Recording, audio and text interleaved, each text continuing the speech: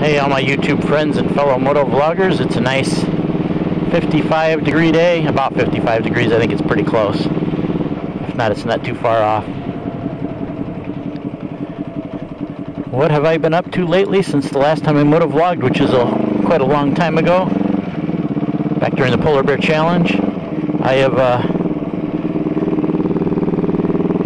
been out buying stuff and uh, buying stuff with a purpose though, not just buying stuff to buy it, but uh, I want the uh, to start replacing stuff that is costing me money and replacing it with stuff that saves me money.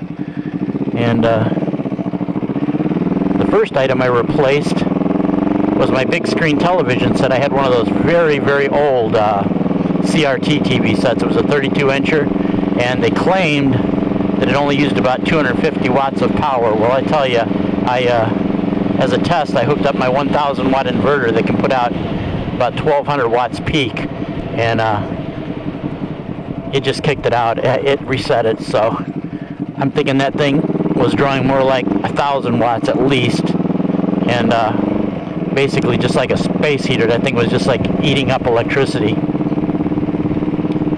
and especially when uh, it was left on in the room and nobody was watching it too. We were basically just paying for a useless space heater. So uh, it actually, I, I, was planning on doing it quite a bit later, like maybe sometime in the middle of summer I was going to replace it, but uh, as luck would happen, it, uh, it died on its own about a month and a half ago, so I looked around for the cheapest ones that were like, uh, I guess you can get some of those LED ones that only used like about maybe the equivalent of like maybe a 10, between a 10 watt bulb and a 40 watt bulb, depending on how many features, and I just got the uh, 42 inch Sanyo Bear Basics cheapo one that uses about 10 to 14 watts electricity, something like that, I think. I mean, all the claims are just the claims anyway until you can actually measure it. Who do you know? But uh, I tell you one thing I did notice is uh, my very next month's electric bill after I bought it was $8 lower. And typically my electric bill in the wintertime is higher because I am running my heater.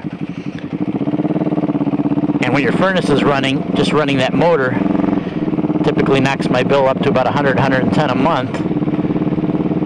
But in this case, it actually dropped $8. So to me, that's a, a very good sign.